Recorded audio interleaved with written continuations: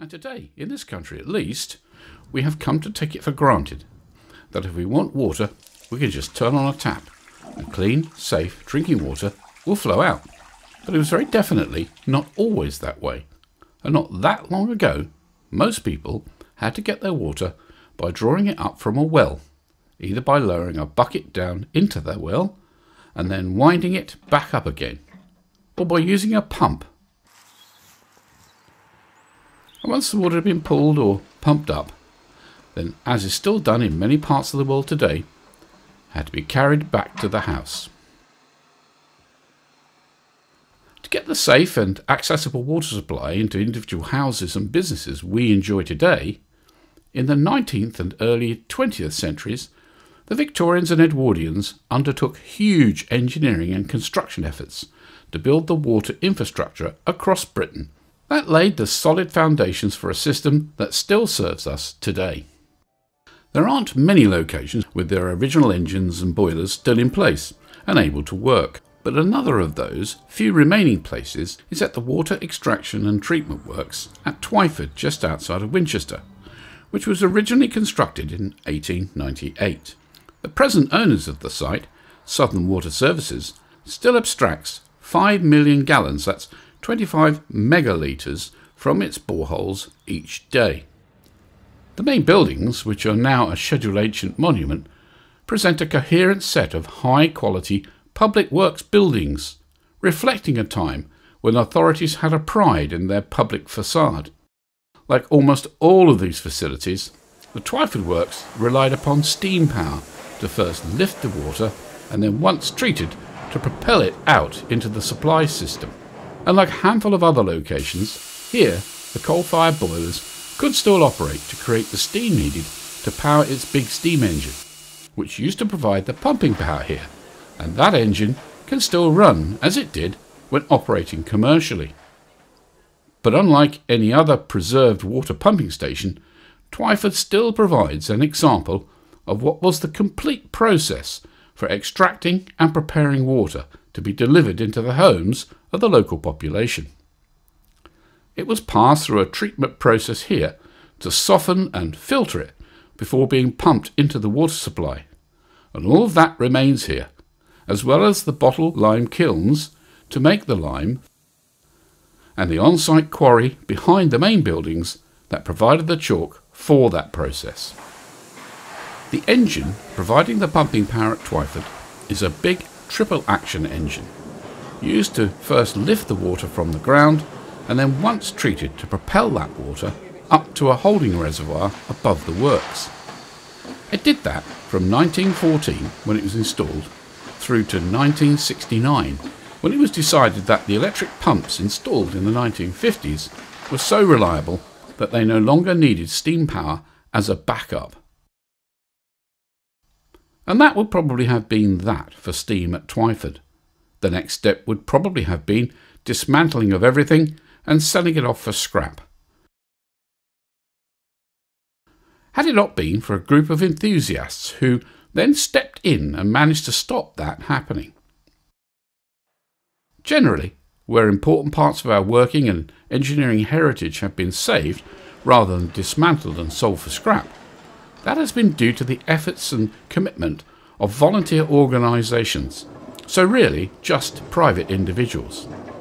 And that is very true of Twyford, where the volunteers formed themselves into the Twyford Waterworks Trust.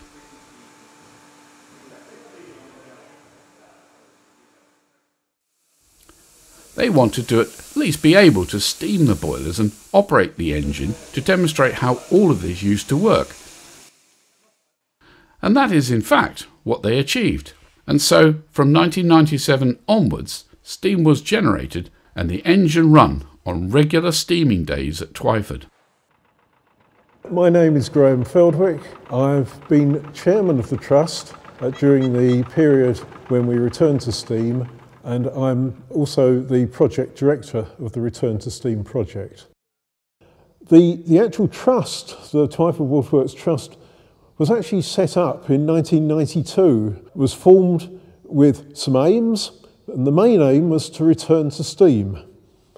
The volunteers of the time got together and worked on the, uh, the boiler, what we call boiler number three, which is now sectioned for display, and actually got that working again in 1996.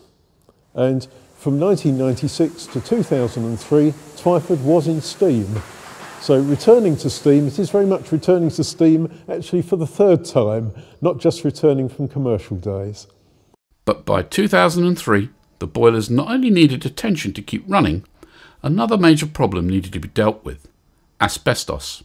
This material had been seen as a marvellous fireproof protective covering for pipes and boilers, and so was used extensively in factories and other places. We now know how dangerous asbestos is and so repair or refurbishment of the boilers would also have to deal with that as well. Martin Gregory was one of the early volunteers and is still a member of the Trust. I'm Martin Gregory. I first came to Twyford uh, in uh, the 1960s, just after the steam plant had gone out of use. I've been a volunteer ever since. Uh, I was a trustee for many years uh, I'm now back to being a humble volunteer. The volunteers worked on returning it to steam, and in fact, we came back into steam with the Hathorn Davey engine that you will see, uh, and this boiler, boiler number three, the 1916 boiler, in 1997.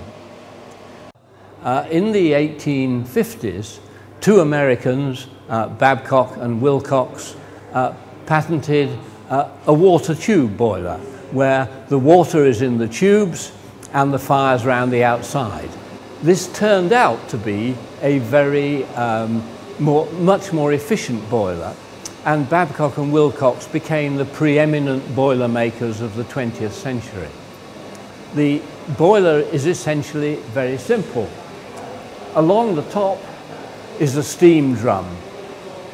Suspended from the steam drum is a nest of tubes containing water. Uh, the tubes are inclined so that the fire, which is at that end, heats the tubes, boils the water, and the water circulation is down the tubes at the back, up along this nest of tubes where it boils, and then the steam collects in the drum at the top. Uh, in our boilers, there is also a collection of small tubes uh, in between the steam drum and the main tubes. They're the superheater. They heat the steam further after it's been produced in the steam drum at the top. This boiler is, if you like, naked because the fire should be enclosed within a fire brick box, which we've stopped at this level. So when you see the real boilers, you won't be able to see any of the tubes. You'll see the end of the steam drum at the top, uh, and the rest is brickwork.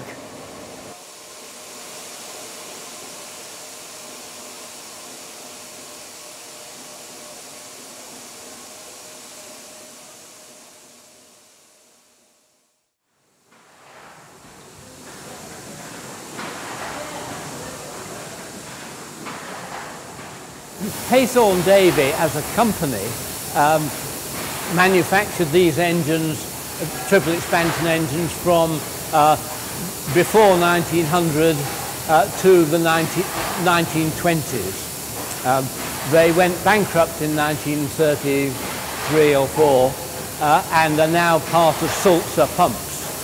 Uh, so the name still exists in that sense, um, but not making this sort of thing. They were, they were a very popular engine manufacturer uh, all over the world. Uh, you come across Hathorn Davey um, engines. The Imperial Steelworks in Japan had Hathorn Davey pumping engines and Babcock boilers. Um, here, the largest Hathorn Davey was at Walton on Thames for the Metropolitan Water Board.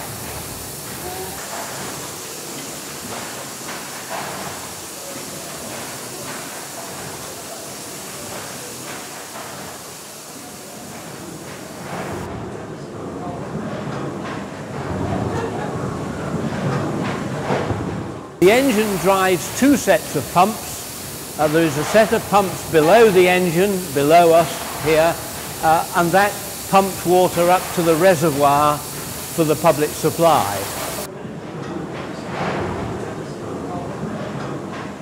The well which the engine pumped is the other side of that wall uh, and the crank that you can see going round here uh, was connected to the pumps in the well. So it did two jobs.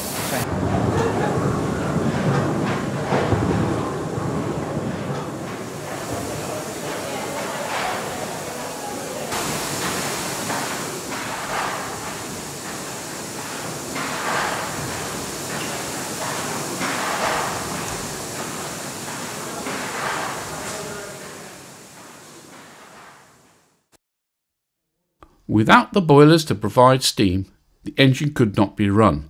And so, from then until 2010, the Trust set about raising money, and in particular put together a submission to the Heritage Lottery Fund to gain a grant to undertake the extensive works required, which would cost almost a million pounds. In 2012, that request met with approval, and work then began. The project was called Twyford Waterworks A Return to Steam. But as we have heard, perhaps that should have been a return to steam again.